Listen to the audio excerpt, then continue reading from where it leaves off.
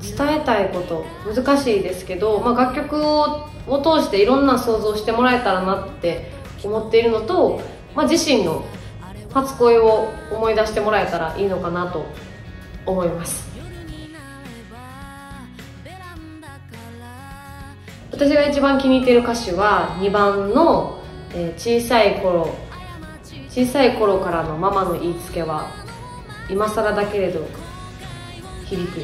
という歌詞が気に入っています。私がやっぱこう歌詞で一番大事にしているのは2番の歌詞。2番の歌詞がこう作詞をしている上でいつも大事なので2番の歌詞が好きです。私が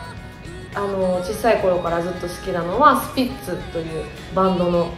曲です。ぜひスピッツの曲素敵なので聴いてみてください。そうですね。さまざ、まな年代の方に聴いてほしいなと思ってるんですけどもまあ生きていく上でいろんなものに恋をして生きていくん生きていくんだぞっていうものが伝わったらいいのかなとは思いますね。大人になっても恋はたくさんできるぞっていう。それは恋愛だけじゃなくてなんか好きなものだったりいろんなものに恋をして生きていくんやでっていうのが伝わればいいないいのかなと思ってます。と本番はやっぱ緊張はしていました。あのずっと会えなかった子たちと、まあ、画面越しではあるんですけども会えたのですごい嬉しかったですし本番当日は私の誕生日でもあったのでみんなに「ハッピーバースデー」を歌ってもらえてめっちゃ嬉しかったなっていう思い出もありますね。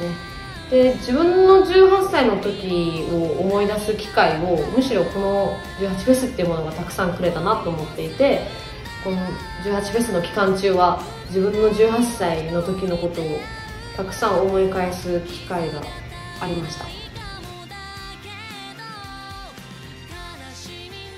自分が18歳の時と比べて変わったことは全てにおいて変わってる気はするんですけども、まあ、生活住あの生きている場所地元を離れて東京っていう場所に来てますしなんか暮らしはやっぱりこう家族と一緒に暮らしてないっていうそこが一番大きいのかなと思います。あのまた何度か中国でライブもしたことはあるんですけどもまた中国でもライブたくさんしたいなと思っているので、えーこれからも